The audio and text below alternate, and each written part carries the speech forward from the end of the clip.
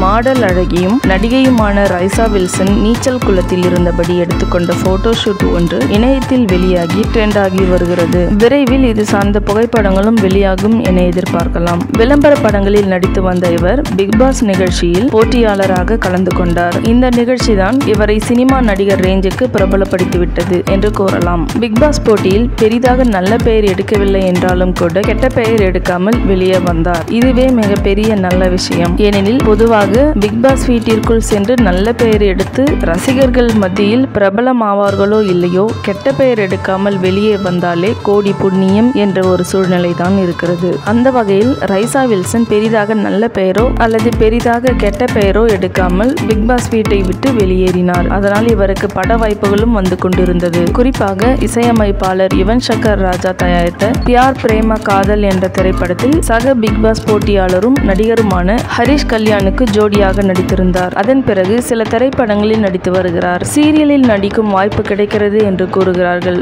ஆனால் நடித்தால் சினிமாவில் தான் நடிப்பேன் என்ற முடிவில் இருக்கிறார் என்று தெரிகிறது. தன்னுடைய புகைப்படங்களை இணையத்தில் பதிவு செய்து வரும் ரைசா தற்போது வெளியிட்டுள்ள இந்த புகைப்படங்கள் ரசிகர்களின் கவனத்தை ஈர்த்து வருகிறது. அதனை பார்த்த ரசிகர்கள் அவருடைய அழகை வர்ணித்து கருத்துக்களை பதிவு செய்து வருகின்றனர். இந்த வீடியோ உங்களுக்கு பிடிச்சிருந்தா லைக் பண்ணுங்க ஷேர் பண்ணுங்க கமெண்ட் பண்ணுங்க. மறக்காம நம்ம சேனலை சப்ஸ்கிரைப் பண்ணுங்க.